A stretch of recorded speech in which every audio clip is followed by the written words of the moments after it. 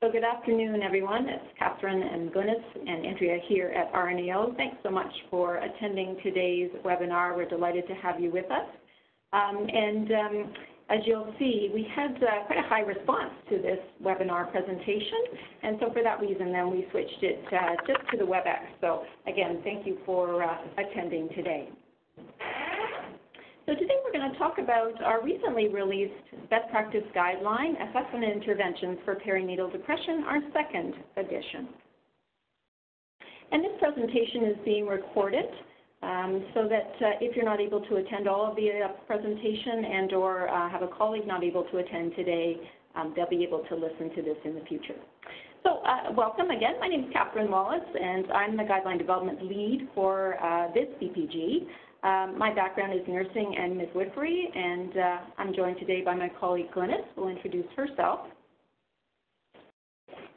Hi everyone, I'm Glynis. Um, I've been in touch with most of you via email and I sent you the registration information yesterday. I'm the project coordinator that worked on this guideline with Catherine and um, also with Phyllis and Angela, yeah. And Angela, did you want to introduce yourself? Hi, I'm Angela Bowen. I'm sitting here in uh, Saskatoon at the University of Saskatchewan, where I'm a professor in nursing. Oh, thanks, Angela. And Phyllis. And good afternoon. My name is Phyllis. I'm in the School of no uh, Nursing in Northern Ontario. And welcome. Thanks, Phyllis. And uh, thanks to both Angela and to Phyllis for joining us. Uh, as you can see, they were both the uh, co-chairs for our expert panel for this best practice guideline. Uh, we thank both of them for their involvement and support of the guideline and their participation in today's webinar. I want to just briefly just recognize uh, the other members of our team here at RNAO that worked on this best practice guideline.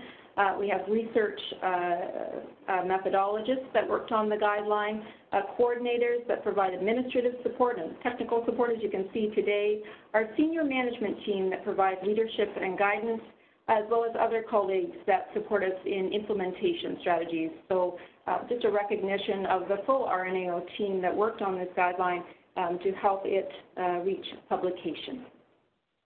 Our objectives for today, we have three. Uh, so we're wanting to talk about guideline development process, including the systematic reviews uh, that were used to inform this best practice guideline. Uh, we want to highlight the guideline recommendations, and we'll talk a little bit about um, implementation support. Uh, we create guidelines at RNAO with the intention not only that they inform knowledge, but also to be used in education and clinical practice. Uh, so we talk about some of the supports and resources that we've created for that purpose. Um, in recognizing that many of you today probably are wanting to hear about the guideline recommendations, we've chosen to put those at the front of this presentation um, so as to ensure that we have adequate time um, to, um, uh, to discuss those. If you're not familiar with the RNAO, um, the Registered Nurses Association of Ontario is the professional association for RNs, NPs, and nursing students here in the province of Ontario.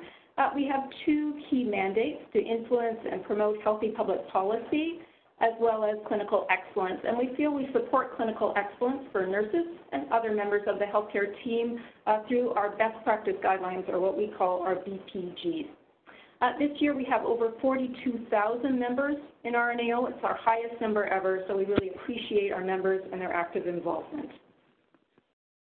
Uh, so we have 54 best practice guidelines. The majority of them focus on clinical uh, topics, including perinatal depression, and then we have 12 in the area of system and healthy work environment. Um, um, this screenshot then is of our um, the perinatal depression uh, web page. So if you log on to rnao.ca, and then look under the tab of best practice guidelines. You can do a search uh, for perinatal depression or depression, uh, and you should find this guideline. Uh, I want you also to see that uh, in the top right there it says contact us, just above the policy and political action. If you have any questions regarding any of our guidelines, um, that's a way of reaching us. I also will include my email at the end of this presentation. Um, here also you will find the link for the free download of this BPG. Um, and we encourage you to uh, look at the guideline as an electronic uh, document. There are many links that you'll find to uh, supporting resources, uh, so certainly you can read the guideline that way. Um, in the upcoming months or so, we should have this guideline also available as a print copy for purchase, and this is where you would find that if you're wanting to make such a purchase. I know some people like to read our guidelines in print as well. This is the bottom of that same web page. Um, here you will find uh, a blog that was written from one of our board of directors um, who described her experiences with postpartum depression. Uh, we also had, uh, in the month of October, a media conference, uh, and that was videotaped, and that you can watch as well. Also on this page, you will find related files, including the bibliography that we used for um, informing the recommendations. It also includes the quality appraisal of each of those studies.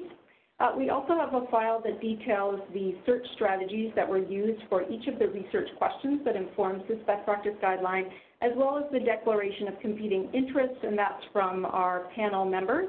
And this is to ensure quality and uh, transparency as far as our guideline development processes uh, and an indication of quality as far as just the development.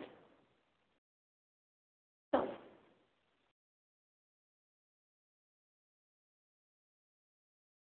so So, uh, relative to a brief introduction about this guideline, it replaces that of 2005. Its focus remains on the person who is at risk of or experiencing prenatal depressive symptoms. Their partner's experiences are included in an appendix. A difference between the two postpartum depression guidelines is that the current version includes a synthesis of evidence regarding altered mood during pregnancy to in- ensure the inclusion of more contemporary evidence about prenatal depression and early interventions to promote the health before and after the birth of the child. Thereby, the 2018 guideline can be used by a variety of professionals in diverse healthcare settings, inclusive of and not limited to nurse practitioner led clinics, family doctors or midwives or obstetricians, family health teams, community health centers, public health, uh, Aboriginal health access centers, or acute care. Additionally, the guideline can be implemented in mental health services and supports for prenatal depression, such as psychiatry, counseling sessions, schools, and other academic settings. The purpose of this guideline is twofold. First, to provide nurses and other health professionals with an evidence with evidence-based recommendations for persons at risk for or experiencing prenatal depression. This guideline uses the term person to be inclusive of anyone who experiences a depression during pregnancy and postpartum. We recognize that care-bearing, childbearing women may not identify with the descriptor terms such as woman or mother. The second purpose is to promote comprehensive prenatal depression care inclusive of screening, assessment, prevention for persons at increased risk or women with early symptoms of depression. Also, the guideline addresses interventions and evaluations. Thanks, Phyllis. Um, for all of our guidelines, we include guiding principles. Uh, this provides the broader context of the guideline, uh, addresses any underlying values that we felt were important for the reader to understand in order to give the guidelines some context. So we've got three key guiding principles. The first one, social determinants of health, or more, more specifically, social determinants of mental health. This recognizes that um, persons who experience perinatal depression disproportionately are at increased risk if they also face inequities. So someone who lives with poverty, someone who lives with violence, someone who experiences discrimination in their life can be at increased risk of uh, perinatal depression. Um, and it recognizes, too, that there is a role and a need for nurses, other members of the healthcare team to advocate to eliminate these modifiable factors. Person-centered care is that we need to approach perinatal depression care components in a way that is holistic, in a way that reflects what the person's goals are, and that recognizes that um, persons bring a knowledge and strength as to what approaches to care can be most effective for them. Lastly, informed decision making. This recognizes, respects, and promotes, and promotes a person's right to autonomous decision making. And we know over the course of pregnancy, labor, both postpartum, that there are a number of decisions that a person needs to make. And we know that as nurses and other healthcare providers, that we can play a key role in helping to support their informed decision making as opposed to them using other sources like perhaps their, their mother or their sister or a lady on YouTube. Oh, hi, it's Angela. There's three types of recommendations that you'll find in the report. The first are practice recommendations. That is what the healthcare provider nurse needs to do to um, to enact the the changes that we, we put forth. The second are education recommendations. What do you need to know? So you need background information to make the changes. And importantly, what the system organization and policy um, recommendations for those to go through. What does the organization need to do?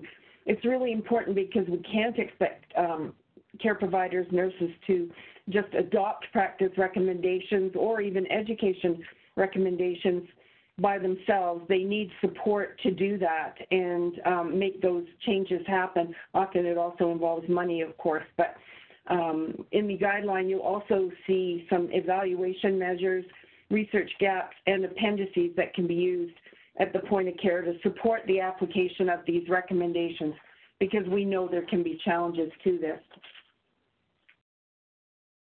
We met in Toronto at the onset of this and we developed four questions that would guide this um, guideline development in the area of perinatal mental health, and it was important for, for me in particular, but for the group, that this change from postpartum to perinatal to acknowledge the antepartum period as well.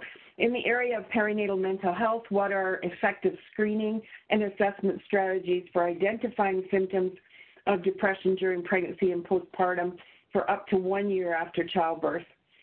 In the area of perinatal mental health, what are the effective interventions for persons experiencing childbirth, depression during pregnancy and postpartum for up to one year after childbirth?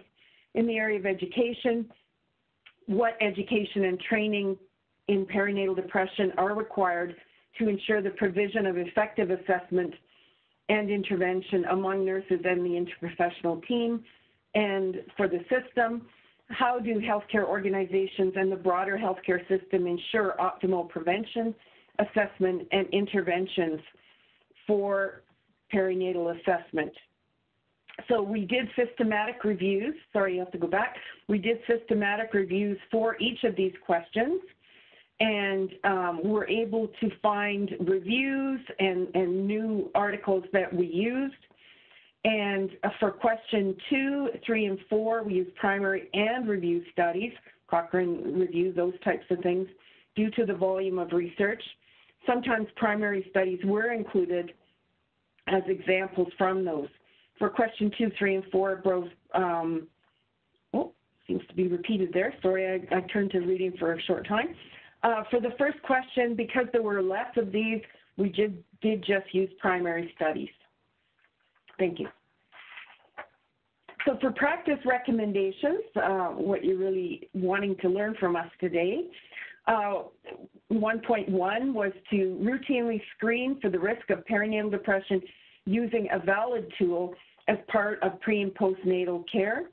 Um, the benefits of this are seen to be that there are is improved and earlier detection of those at risk for perinatal depression and there is a decrease in symptoms if a person is treated.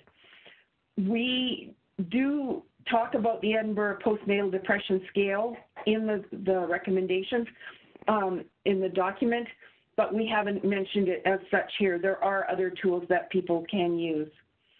A comprehensive um, assessment, conduct or facilitate access to a comprehensive perinatal depression assessment with persons who screen positive for perinatal depression. So we all understand that screening is just a screen. You need to do uh, another step to determine a diagnosis and a plan of care. So this can include emotional status, health inequities, other psychosocial factors which we know often accompany depression in um, people during the perinatal period. Um, what other kinds of things that, that we need to know. We need to be trustworthy, empathetic, and we know that people are much more likely to disclose um, these kinds of sensitive issues and get treatment if people are attentive to them. The third, 2.1, collaborate with the person to develop a comprehensive person-centered plan of care, including goals for those with a positive screen or assessment for perinatal depression. So it's a collaborative process, reflects their goals, not ours. Um, really important if they do have a partner, sometimes to make sure that partner's part of the plan of care so that they can help and be included with it. The guideline includes a table that has clinical considerations for following um, a screen or assessment for perinatal depression.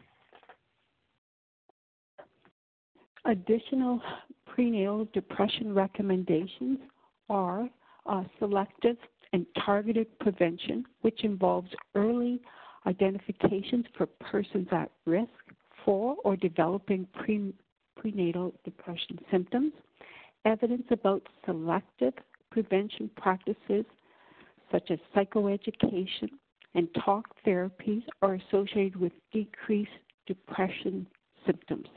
There is limited evidence supporting universal, universal prevention at this time. 2.3 addresses promotion of self-care practice, practices which involve supporting persons' efforts to engage in positive everyday lifestyles. Evidence suggests that time for self, exercise, relaxation, and sleep are health habits a person can independently adopt to optimize their health. 2.4 Support seeking from a variety of sources is associated with a person's ability to cope with depressive symptoms. The sources of support include immediate and extended family, as well as peer support. Peer support, be it in person or via technologies, are often multimodal, and therefore it's challenging to determine the independent effects of peer support on depressive symptoms in the reviewed evidence. 2.5 addresses the delivery of psychoeducation interventions to offer opportunities for, to promote persons' self-efficacy through education about depression, modifying risk factors, and also promoting well-being. Ident- uh, 2.6 is a group of psychosocial interventions which are purposeful, such as non-directed counseling, collaborative problem solving, home visiting, for the provision of opportunities for persons to identify solutions that are best for them.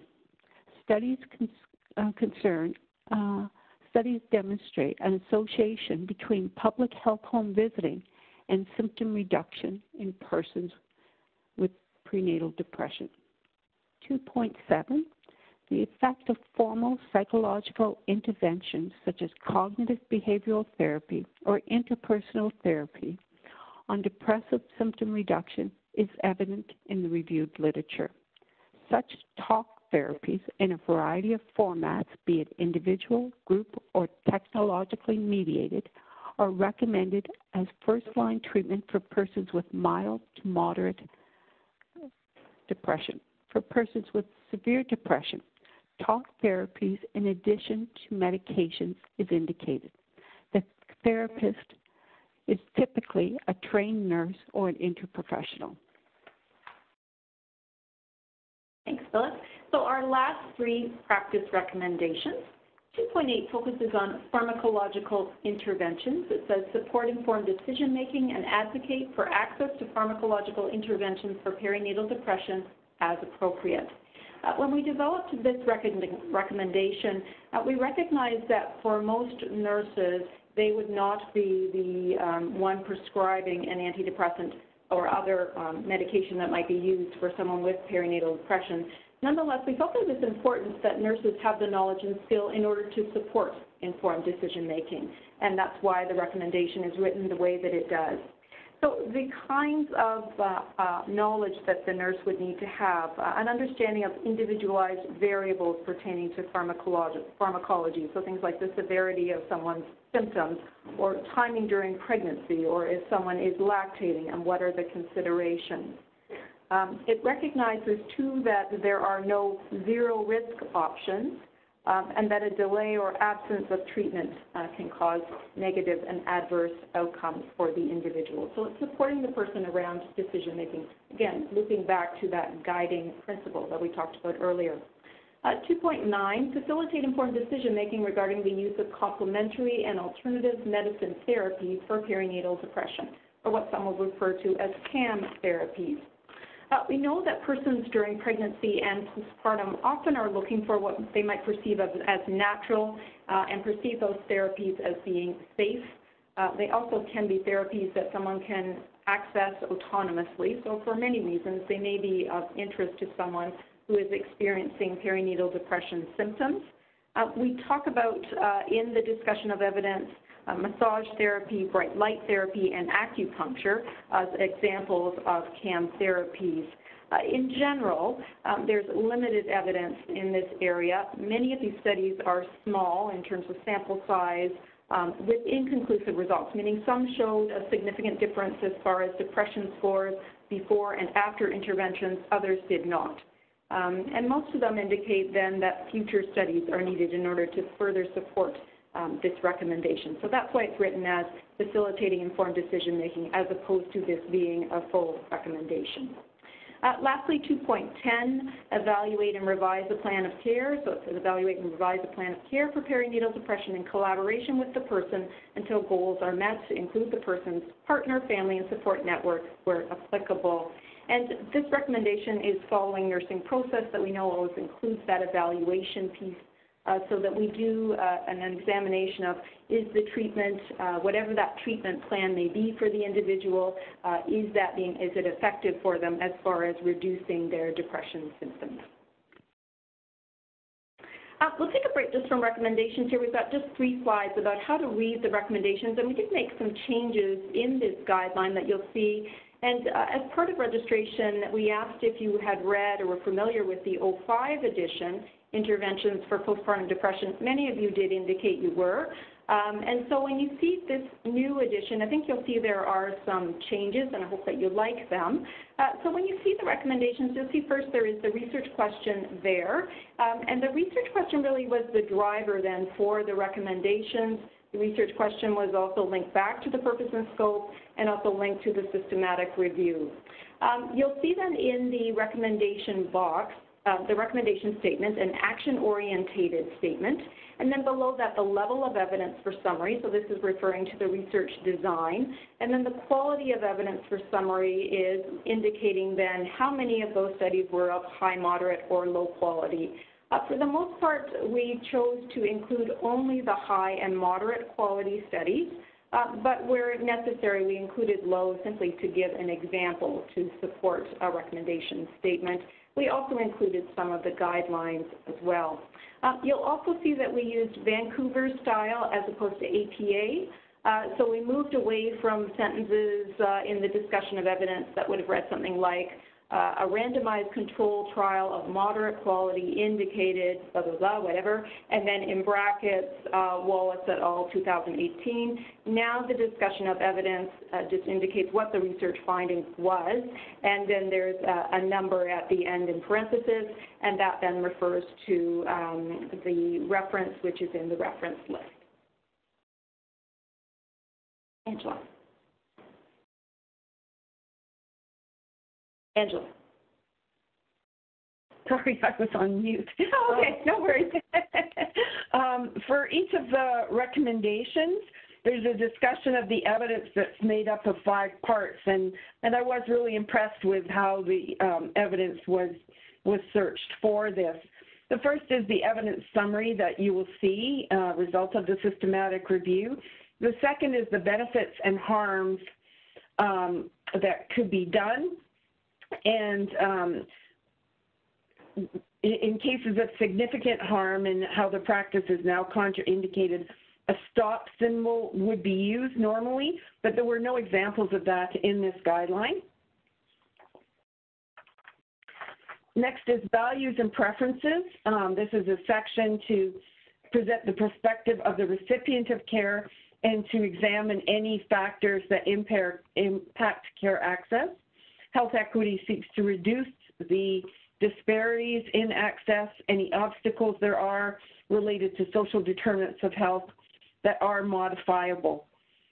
For example, the acceptance of screening is enhanced, as I said earlier, with the therapeutic relationship has been established and a full explanation of the tool has been provided, and people are more accepting of care when the person was known to them and trusted. Or a preference for self-managed care of perinatal symptoms, uh, CAM, or self-care strategies, or a preference for in-person learning for nurses of depression about perinatal depression rather than online or um, other ways. Practice notes from the evidence implications for clinical practice, additional tips, considerations at the point of care. Um, wasn't written like a textbook, but it's what we could get from those studies and, and can be used at the point of care. Supporting resources, relevant resources, um, other studies, other guidelines, white papers, um, things that we could find in other ways are, are also summarized. Education recommendations. The first recommendation supports nurses and health science students to develop competencies that they need at an entry level um, to provide effective perinatal depression care. So curricula needs to integrate both theory and clinical practice. The discussion for this evidence of evidence for this recommendation includes examples of content that could be used for curricular development. The second is for ongoing professional development um, and for people to be able to participate in that, um, asking for clinical care competencies, increased care provider confidence that comes. I know that's an issue that um, I hear all of the time that people maybe know it, but they don't feel confident in terms of providing care to um, people with perinatal depression, increased frequency of asking about mental health topics and conducting screenings. The third one, perform regular self-reflection on attitudes and beliefs regarding perinatal depression. Um, this recognizes that nurses and the team may have attitudes or beliefs regarding perinatal depression that can negatively affect outcomes or result in delays of assessment and treatment.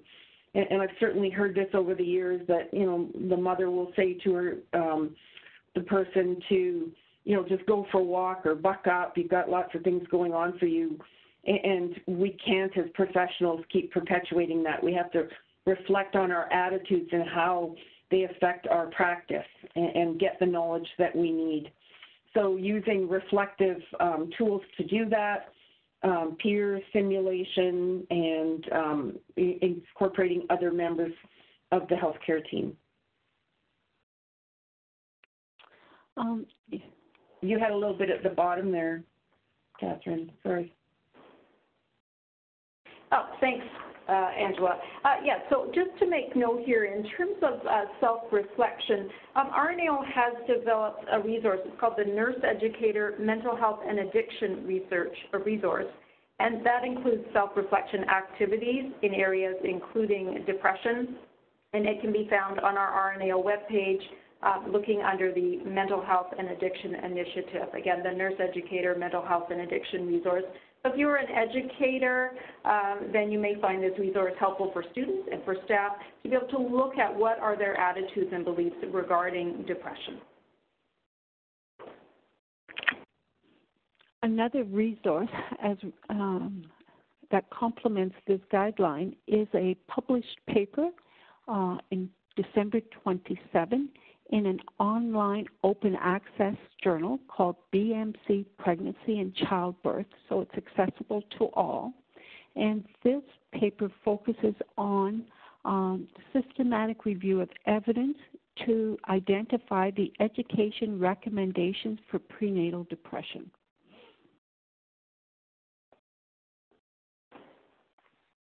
Our last recommendation uh, focuses on the organization and system policy. Again, what do we need from organizations and the broader healthcare system in order to support the practice recommendations and the education recommendations? Um, as Angela indicated, they don't just happen simply by nurses and other healthcare providers wanting to do this. We need the support um, at that organizational level, and we need also an organized approach um, in order to implement these best practice guidelines. So this recommendation says implement comprehensive and coordinated mental health services and supports for perinatal depression across communities to support care strategies by nurses and the interprofessional team.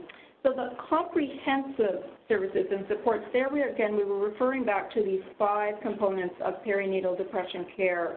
Um, the screening, assessment, the interventions, the prevention, and the evaluation, and coordinated um, across communities. So we have a lot of supports in large urban areas. We're calling you here today from downtown Toronto where there's access to many services. But if we look at across the province, if we look at in rural and remote areas, sometimes there are a lot of challenges to be able to access these same services. Um, being coordinated, so meaning ideally the evidence would say if we can have mental health services and supports available on site, we've probably got the best bet in, in clients going and actually um, seeking out those services. Um, if they are co-located, so within an organization that we have some kind of partnership with, then again, we have a better likelihood of that person accessing those services, or at, at minimum, that they're coordinated, meaning that if we're going to engage in screening and assessment, for example, that then we know what are going to be our next steps. Where can I refer this person? What kind of wait time is there? Uh, are there costs associated with that? And if there is going to be a lengthy delay, then what services and supports can, that, can I provide as a nurse or a member of the healthcare team? And I think when you look at the guideline, you'll see that there are many interventions that can be effectively provided by nurses and other members of the healthcare team.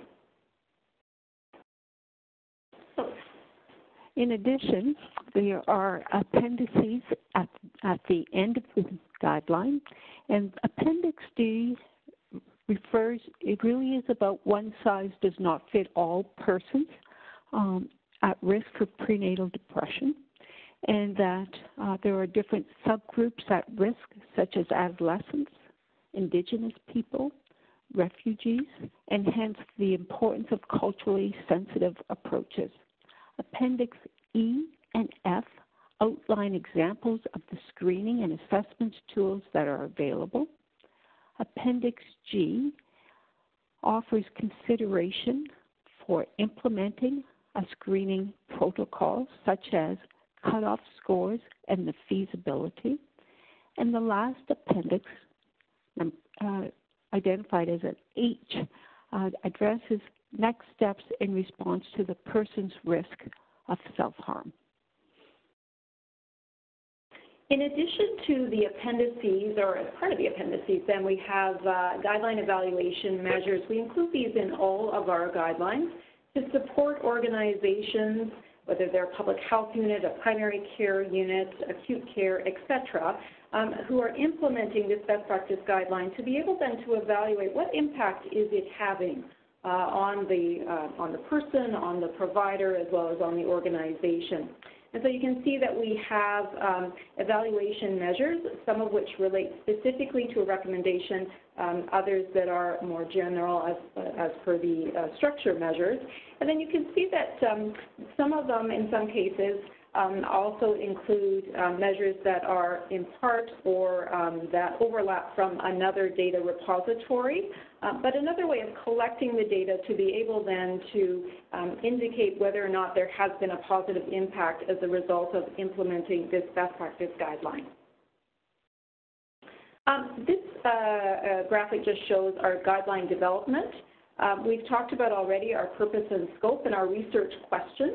Uh, all of the guidelines currently are based on a systematic review. I'm going to show you a diagram of that next, uh, from which then we develop our recommendations. And we've reviewed our three categories of recommendations.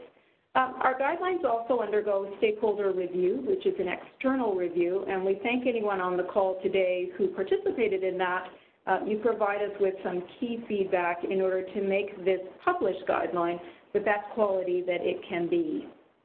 Uh, we want to thank our expert panel, two of whom are joining us today, Angela and Phyllis, and I believe some of our other panel members are listening on the call as well. Um, when we establish our expert panel, usually about 12 to 15 individuals, uh, we're really looking for experts uh, who bring um, knowledge in a particular clinical area.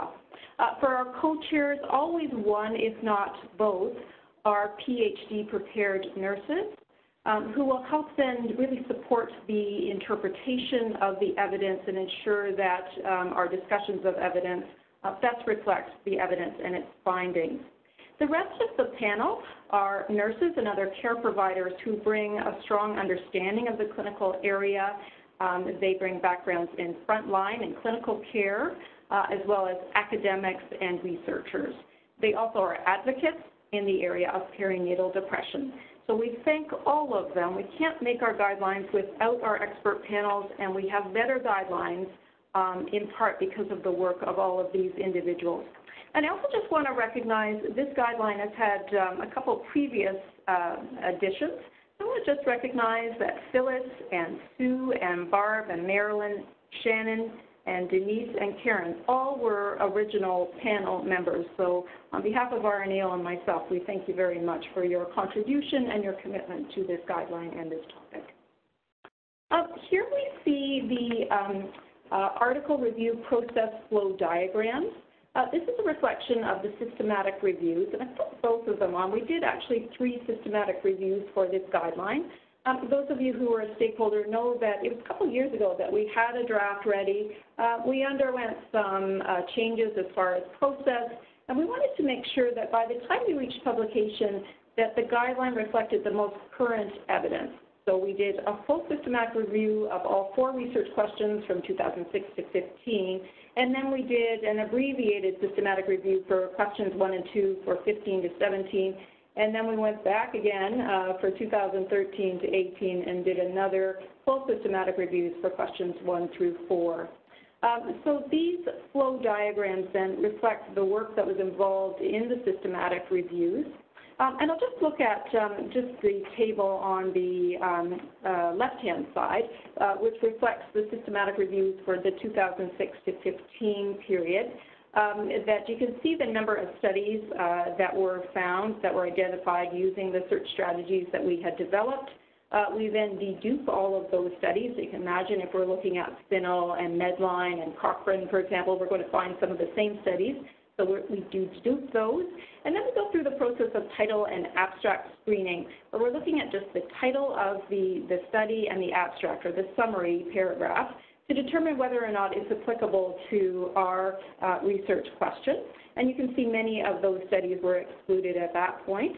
Uh, then we do um, uh, a full text review. So we um, find those studies and then do a full review. And again, we're asking ourselves, does this meet our search strategy to ensure that only those studies that answer the research question are included in this guideline? And again, you can see that many were excluded.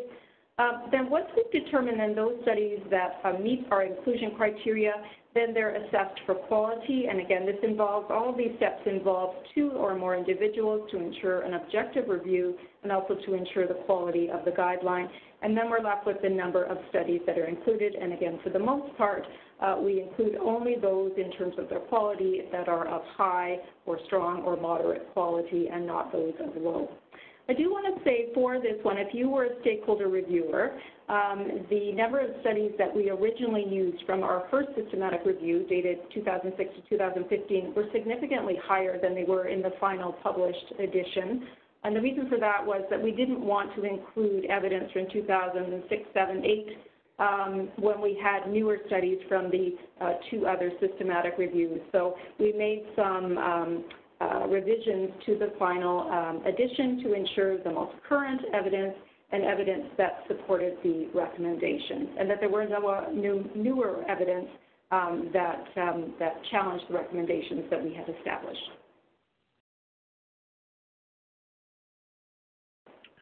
Uh, we had, as, as Catherine said before, we had 44 stakeholder reviewers, which were really essential to give us feedback on everything, every aspect of what we did. And they did that. They also helped to evaluate the evaluation measures that were in the guideline.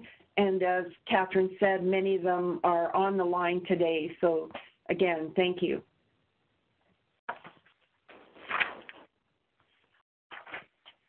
And we should just acknowledge too that uh, our stakeholders really told us were the recommendations feasible in practice, and it's probably the most valuable feedback. They also told us whether there were any resources that we should include. Uh, they also found a few typos here and there. Um, but the feasibility perhaps is the most important. A guideline that isn't feasible is a guideline that won't be used in practice and we develop guidelines with the intention, not that they just be read and, well, that was interesting and, you know, no change in practice, but that they actually be used to inform our practice, to inform education. Um, our last section here uh, is just sort of what is the what next, okay? We've got a guideline. What can I do now to make it most effective for my clinical practice or my education? Um, and this, um, this slide is just showing the process of guideline development that we talked about. And then at RNAO, it's important to us also um, to um, have these other components of guidelines so that we disseminate or we share them. We support organizations in implementation and using them in their clinical practice. We also support them as far as sustainability. Consider that anytime you make a change, it's important, the change is important, but most importantly is that the change is sustained. And then carrying on to that is that when you make this change, how do you know if it's uh, of benefit? So that's where those evaluation measures that we talked about uh, can be very helpful. And lastly, that last circle is looking at impact. We consider that when we use evidence, it is our hope that it is um, to have positive impact on the people that we care for. Consider also that it can positively impact us as providers. Um, the conversation, the discussion of perinatal depression can be difficult ones, can be very personal ones, can unearth a lot of um, uh, trauma and, and uh, histories of abuse and other very personal, sensitive issues. So we need to have the knowledge and skills in order to effectively support someone with perinatal depression. So that can be another impact of the guidelines, not just benefiting those that we care for. It also can positively impact us as care providers and also our organizations so, and our system so that we have more comprehensive, more coordinated approaches to perinatal depression. Some other suggested next steps, certainly we would like for you to read the guideline. Um, today we're just doing a high-level overview, again, available as a free download and probably in about a month or so uh, ready as a purchase copy for those of you wishing to read the hard copy. Um, you could conduct a, a, gap analysis, a process where you're examining what are our um, current practices within our organization and how does that compare to what the guideline indicates and seeing where there are alignments and where there are any uh, indications for need for changes. Uh, we also have uh, apps for all of our guidelines. Uh, this guideline is about 160 plus pages. The app is about 8 to 10 pages, so it's really condensing the information in the guideline and asking ourselves what would be the most relevant information for a frontline nurse or other care provider to have. Available as an app that's available at no cost that you can purchase through um, iTunes or Google stores looking at Gillian, yes, okay. Uh, or there also is a website, bpgmobile.rnao.ca, where you will find that same content. And every time we have a new guideline and create a new app, then it will just do an update on the app, so to reflect the most current content. Uh, we also create BPG order sets. Uh, this is taking the um, practice recommendations and operationalizing them into an order set so that we can take the evidence in the guideline and actually use it consistently at the point of care. So for example, if there is an order set on assessment of perinatal depression, it would give you essentially like a tick sheet of, of all the different components for assessment. Obviously, the person who is completing the order set then would have to have the knowledge and skill to be able to interpret what those findings mean. Um, but we do create those, and those are currently uh, in progress at this time. Uh, you could also become an RNAO best practice champion. We have a champions network where they're learning about our best practice guidelines and how they can implement them into clinical practice. It is based on this toolkit that you see, implementation of best practice guidelines. That's looking at what is the evidence of actually taking um, a guideline and putting it into clinical practice. How can we do it in ways that are most effective, that are planned and organized? Uh, we also have some other best practice guidelines that can be relevant uh, in this area. Um, as Phyllis alluded to, uh, persons with perinatal depression are by no means all the same. There are many different aspects and components, so other guidelines may be relevant. Uh, we know that part of screening can be an assessment of risk or any thoughts of suicide, uh, so we have a guideline on that. This is an older guideline from 2009, slated for revision in 2020. Uh, we also have a guideline on engaging clients who use substances, uh, and we know that someone may choose to use substances uh, due to addiction, uh, as a coping mechanism. So again, that guideline can be very helpful. Um, I didn't add to the slide, I could have. We have a guideline also on tobacco interventions. Again, we know that tobacco use um, can be a coping strategy for someone who is um, faced with uh, perinatal depression and also an addiction as well. Uh, we also have a guideline on crisis interventions for adults using a trauma-informed approach. Uh, certainly everyone who experiences perinatal depression does not have necessarily a background of trauma, but may um, certainly appreciate that trauma-informed approach. Uh, this is um, an approach to care that creates uh, practices that emphasize safety, trustworthiness, collaboration, choice, empowerment, and um, focusing on strengths and the person's skills. So that guideline, um, we did make some references to it in the supporting resources. Again, like the perinatal depression BPG, available as a free download. And lastly, um, our guideline that we released in the summer, our breastfeeding guideline, I think is one of the longest titles.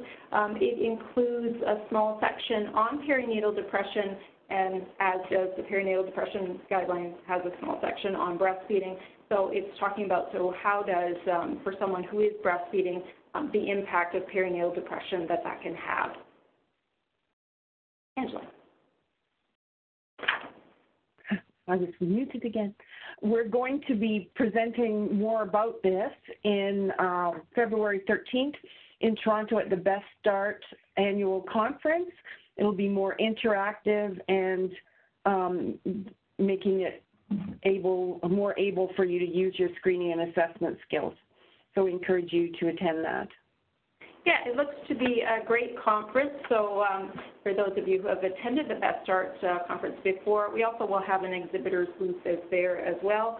Um, so uh, we hope that uh, on behalf of Angela and I that you're able to attend that workshop. Uh, we also have in a couple of weeks our Nurses in the Know with RNAO uh, webinar focusing on our new breastfeeding BPG. Uh, so we hope that you're able to attend that. It's a similar format to this one, uh, where you're listening in and a chance to ask questions at the end. Uh, and uh, certainly if you have any questions beyond today, again, that contact us button on the rnao.ca website. Um, also, you can reach me via email. We want to thank our funders for our BPGs, the Ministry of Health and Long-Term Care, uh, that has funded best practice guidelines now for 20 years. Angela. And um, I just wanted to let you know that uh, we're very interested, some of us, in getting a national strategy for perinatal mental health. We were hoping we'd have our website up by today. Um, it's a group of mothers, advocates, uh, healthcare professionals, researchers, We've come together. Um, Perinatal Mental Health Coalition of Canada is our name, and our goal will be to get a national strategy, um, more resources in terms of education that is standardized across the country as they have in Australia and other places. I noticed there's a comment here from um, Tracy about the controversial nature of universal screening. And when we were doing this guideline, that document did come out in the Canadian Medical Association Journal. We did talk about that. And um, if you if you look at and there were responses to that from perinatal mental health experts across the country, and, and people were not necessarily in agreement with it.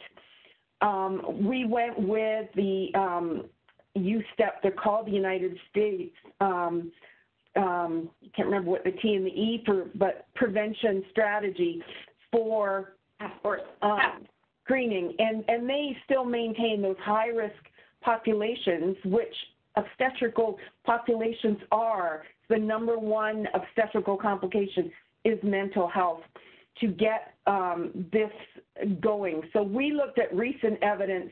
We did look at their um, the, at that that comment, but just because they have not endorsed it, I don't know Canada, as you say, but um, that's because we don't have a national strategy. It's all quite piecemeal at this time. So we're going to be lobbying for that. The next uh, minister's health meeting will be in Saskatchewan in the spring, and we have asked for this to be on the agenda. We have met with our Minister of Health about it. So uh, you probably have something else to say about that. Uh, Yeah, uh, thanks for that, Angela. Um, and we certainly look forward to seeing um, the work of this uh, coalition and to see if it can further strengthen uh, a focus on perinatal depression and increase resources and awareness of it. Um, yeah, certainly we heard from stakeholders about, you know, what's the, uh, their concerns were the ethics of screening in areas where there were not um, necessarily all of those different components of perinatal depression care. Uh, and I know that the panel felt strongly that there should be advocacy in the event that there weren't a lot of options. We also wanted again to emphasize what role could the nurse or other care provider do to effectively support this individual in the interim. Uh, we also wanted to emphasize any of those interventions that were available online because that certainly can increase um, accessibility. And we know that there are effective interventions, uh, talk therapies, for example, that can be provided uh, through telephone, for example, and that's a way then of increasing the accessibility. It's important, though, in doing screening and doing screening effectively um, that we are fully transparent as to what are the available resources locally so someone can make a decision regarding whether or not they're wanting to be screened and then what next steps are they wanting to take. Uh, we have a question also from Heather, and again, if you have any other questions for us, um, please put those in the chat box um, and we'll get to as many as we can. So Heather asks, are there any RNAO workshops being planned on this topic?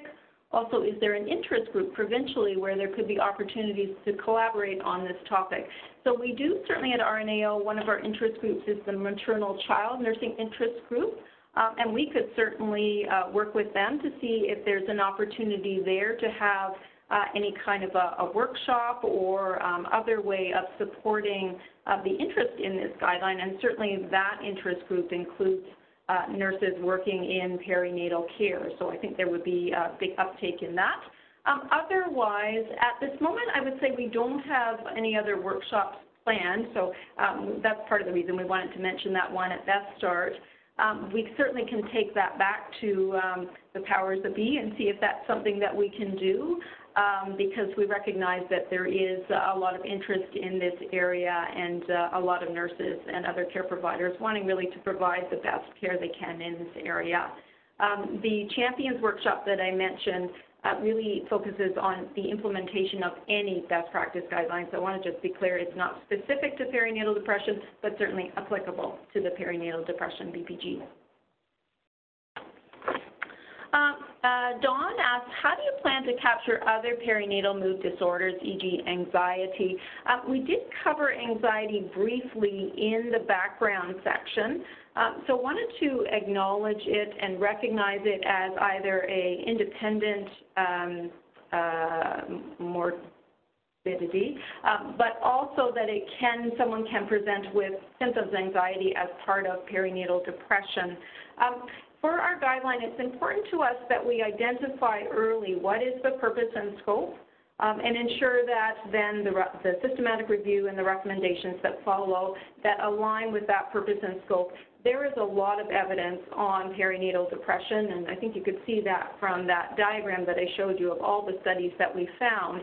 Uh, and we felt that to cover all perinatal mood disorders, uh, would have meant then the guideline would have been even longer um, and um, perhaps would have been so large that um, just from a workload as well as just from a focus. So we wanted, we chose to focus on depression.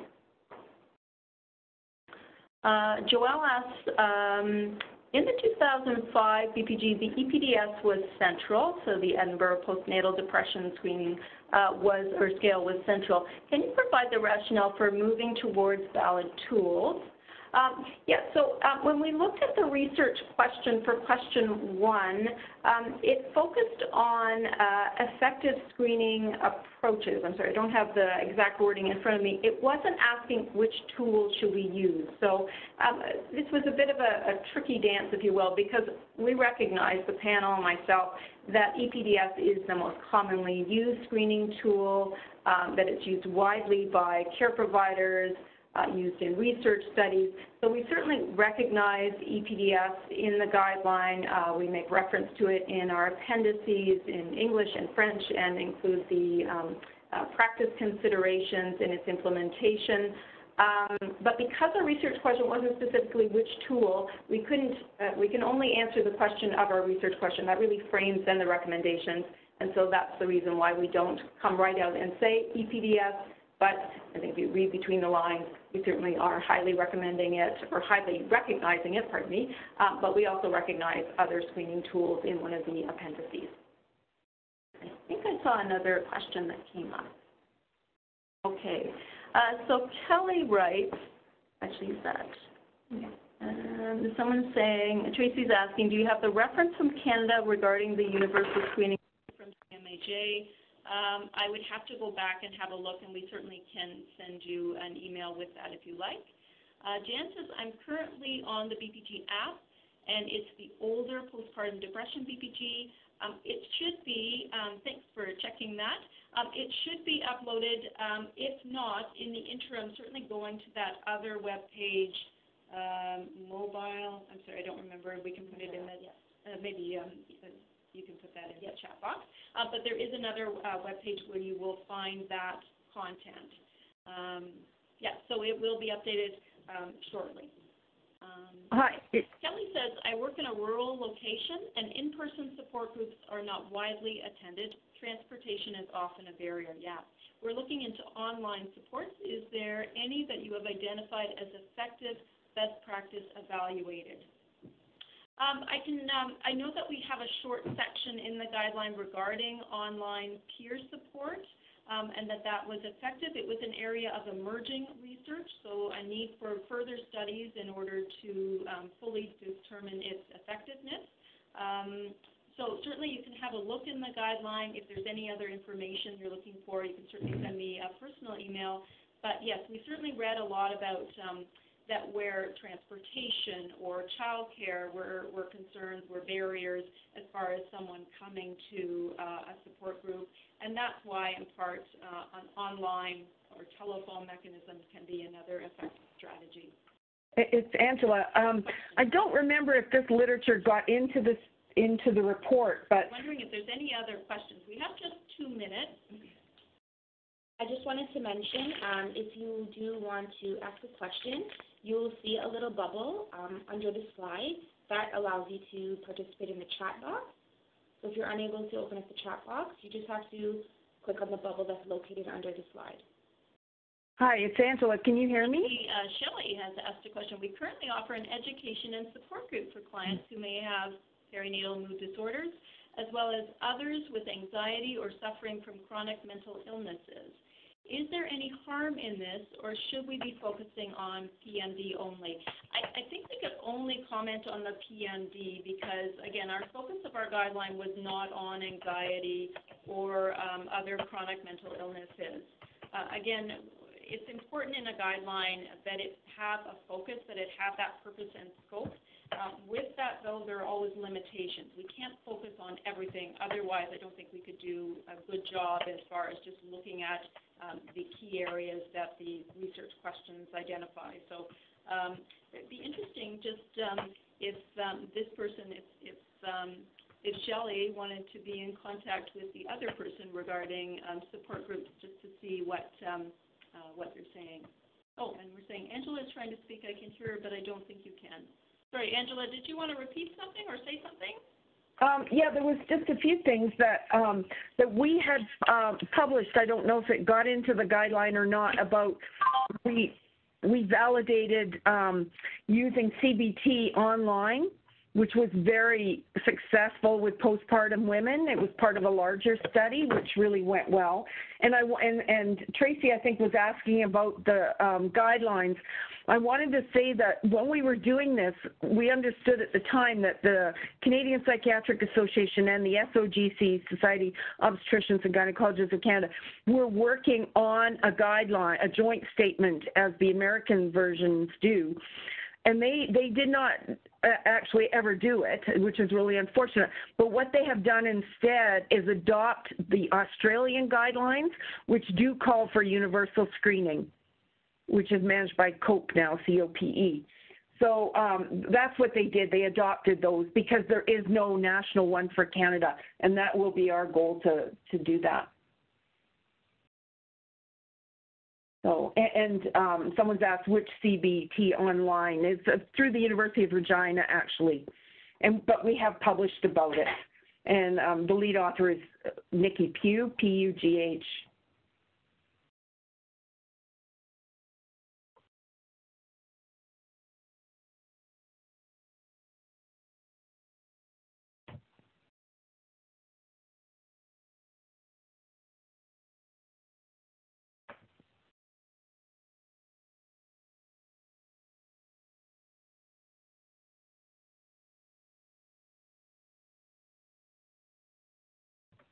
I can't I can't hear now.